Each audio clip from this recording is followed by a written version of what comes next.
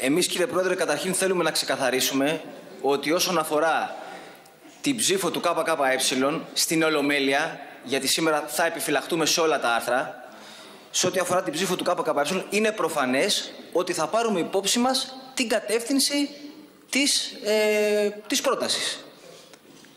Και μιλάμε για τις προτάσεις της Νέας Δημοκρατίας και του ΣΥΡΙΖΑ. Γιατί αυτές οι προτάσεις μπαίνουν σε ψηφοφορία. Οι προτάσεις των άλλων κομμάτων δεν μπαίνουν σε ψηφοφορία γιατί δεν συγκέντρωσαν τον απαιτούμενο αριθμό των 50 βουλευτών. Άρα εμείς θα τοποθετηθούμε με βάση και την κατεύθυνση της πρότασης που... και τη διάταξη που αφορά. Δεύτερον, το είπαμε και, στην προηγού... και σε μια προηγούμενη συνεδρίαση.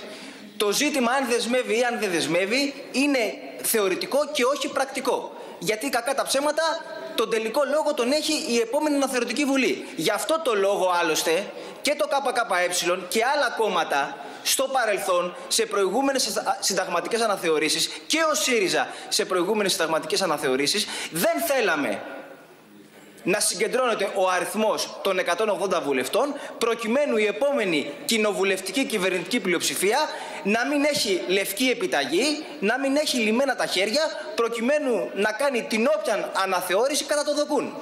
Εμείς αυτή την πρακτική θα ακολουθήσουμε και τώρα όσον αφορά κρίσιμες ε, συνταγματικές διατάξεις. Κρίσιμες συνταγματικές ε, διατάξεις. Απλά εδώ αλλάζουν οι, οι απόψεις ανάλογα με το αν κάποιος είναι κυβέρνηση ή αν κάποιος είναι αντιπολίτευση. Η μεν κυβέρνηση χρειάζεται, θέλει τη δεσμευτικότητα, η δε αντιπολίτευση θέλει να έχει λιμένα τα χέρια της.